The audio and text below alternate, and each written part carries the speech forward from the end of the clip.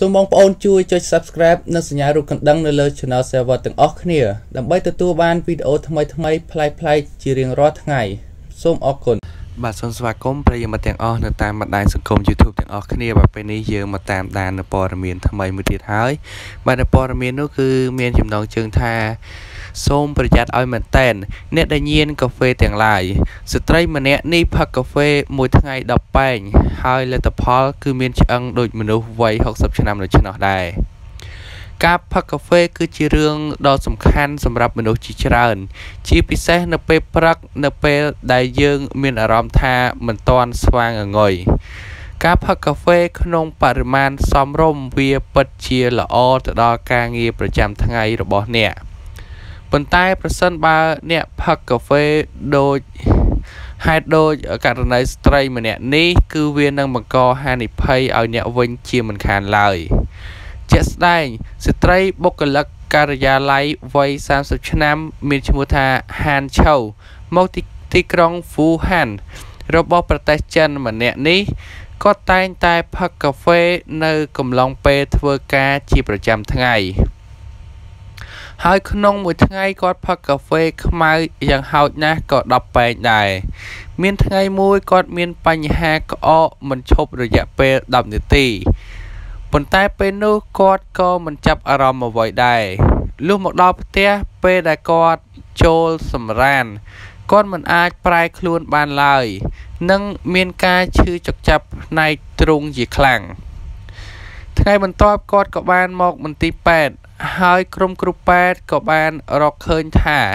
ឆ្អឹងជំនីទី3ទី4និងទី5របស់គាត់គឺបានបាក់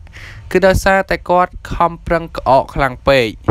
អ្នកស្រីហានឈូមិនអស់ចិត្តនឹងបានសួរពេទ្យបន្តអំពីមូលហេតុដែលធ្វើឲ្យគាត់បានបាក់ឆ្អឹងនេះហើយក្រុមគ្រូពេទ្យក៏បានសួរគាត់ពី ប្រវត្តិនៅហេតុការរបស់គាត់ដូចជាទម្លាប់ការទទួលទានផ្សេងផ្សេង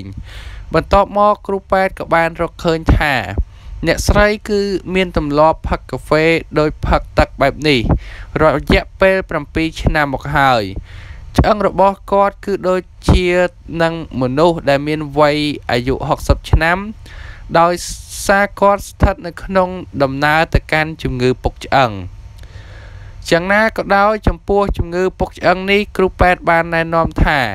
ស្ត្រីដែលមានវ័យលើសពី45ឆ្នាំគួរឧស្សាហ៍ទៅពិនិត្យឆ្អឹងឲ្យបានទៀងទាត់ផងដែរបាទនេះគឺការបរិភោគកាហ្វេច្រើនហួសកម្រិត គឺធ្វើឲ្យពុកឆ្អឹងយ៉ាងឆាប់រហ័សធ្វើឲ្យឆ្អឹងយើងគឺវិវត្តទៅដោយមនុស្សដែលមានវ័យ60ឆ្នាំដូច្នោះដែរបាទអ្នកដែលចូលចិត្តពិសាកាហ្វេច្រើនគួរតែកាត់បន្ថយគឺដើម្បី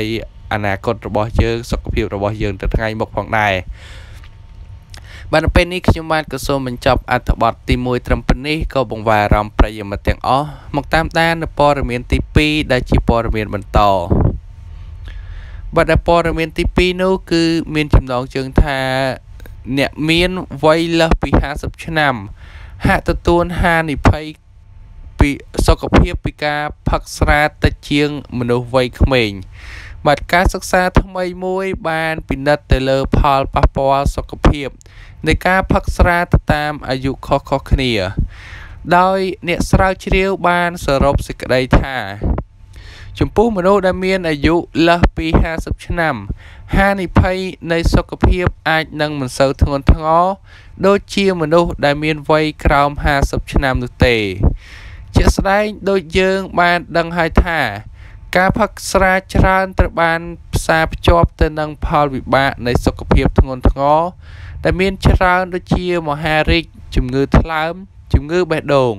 និងការខូចខាតទៅដល់ប្រព័ន្ធសរសៃប្រសាទខួរក្បាលលក្ខនឹងលក្ខផងដែរដែលការសិក្សាថ្មីបានឲ្យដឹងថា ជាការពិតណាស់ប្រសិនបើអ្នកផឹកស្រាច្រើន មិនថាអ្នកស្ថិតនៅក្នុងវ័យណាទេ វានឹងបង្កហានិភ័យខ្ពស់ទៅដល់អ្នកប៉ុន្តែប្រសិនបើអ្នកផឹកនៅក្នុងបរិមាណសមរម្យវានឹងនាំផលល្អទៅដល់អ្នកវិញផងដែរប៉ុន្តែការរកឃើញថ្មីនេះបានសង្កត់ធ្ងន់ថាវ័យមនុស្សដែលលើសពី50ឆ្នាំ ទទួលទានទទួលបានផលប្រយោជន៍ពីការផឹកស្រានៅក្នុងបរិមាណសមរម្យ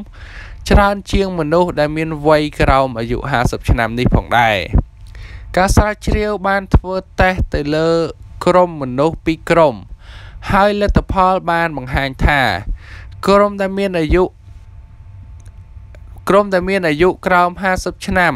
គឺមានហានិភ័យពីការស្លាប់ដោយការផឹកស្រាដល់ទៅ35.8% ខណៈដែលមានតែ4.5%ប៉ុណ្ណោះដែលអាចទទួលបានផលវិជ្ជមាននៅក្នុងការផឹកស្រា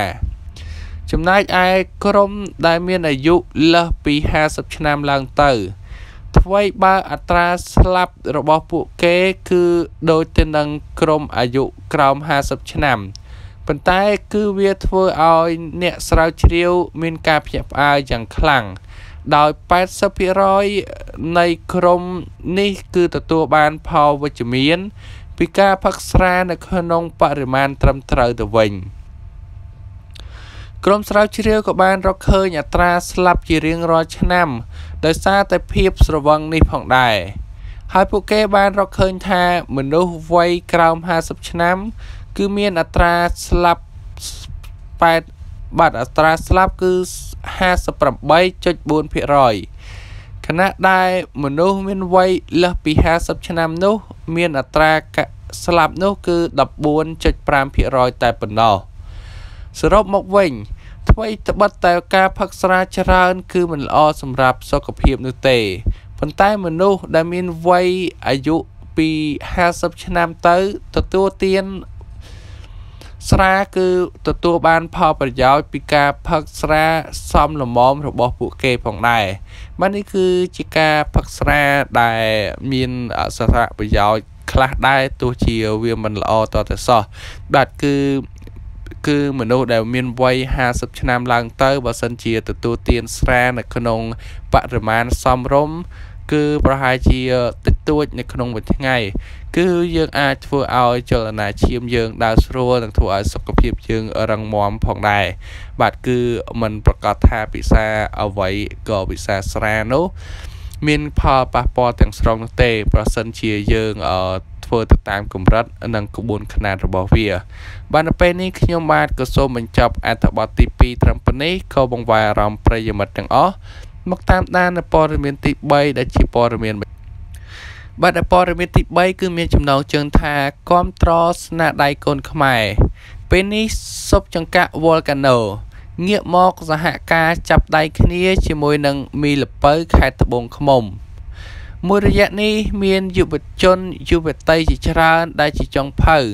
និងជាសិស្សានុសិស្សបានបញ្ចេញស្នាដៃផលិតមីចេញជាមីរសជាតិល្ពៅទុរេនស្រកានៀកបាទស្រកៃនៀកជាដើម ដែលមានរសជាតិឆ្ងាញ់ពិសាប្លែកផងដែរយ៉ាងណាមិញនៅថ្ងៃនេះមានការភ្ញាក់ផ្អើលជាខ្លាំងក្រោយពេលដែលម្ចាស់ហាងស៊ុបចង្កាក់ Volcano ក៏បានធ្វើការសហការជាមួយនឹងយុវជនស្រេងលីហេង ដែលជាម្ចាស់មីលពៅខេត្តត្បូងឃ្មុំយីហោមួយមុតឆេងគឹមដែលយោងតាមករណី Facebook Page របស់ស៊ុបចង្កាក់ Volcano បានឲ្យដឹងថាស៊ុបចង្កាក់ Volcano បានសហការជាមួយនឹងមីលពៅខេត្តត្បូងឃ្មុំត្រូវបានធ្វើឡើងយ៉ាងរលូនបាទគ្រប់ត្រស្នាដៃកូនខ្មែរគឺអាចមកសាកបាននៅសុបចង្កាក់ Volcano បញ្ជាក់ បញ្ជាក់ចាប់ពីថ្ងៃទី1ខែមីនា ឆ្នាំ2019នេះហើយ បាទនេះគឺសុបចង្កាក់ Volcano បានសហការចាប់ដៃគូ ជាមួយនឹងម្ចាស់មីលពៅនៅខេត្តត្បូងឃ្មុំ បាទគឺធ្វើឲ្យស្នាដៃកូនខ្មែរយើងកាន់តែរីកចម្រើនទៅមុខទៀតហើយ បាទគឺមានការគ្រប់គ្រងជួយគ្នាទៅវិញទៅមកបែបនេះគឺជាការល្អប្រសើរមួយផងដែរបាទនៅពេលនេះខ្ញុំបាទក៏សូមបញ្ចប់អត្ថបទទាំង3នេះត្រឹមប៉ុណ្នេះបាទសូមអរគុណប្រិយមិត្តទាំងអស់ដែលតាមដានតាំងពីដើមរហូតមកដល់ចប់ផងដែរបាទសូមអរគុណសូមគោរពលា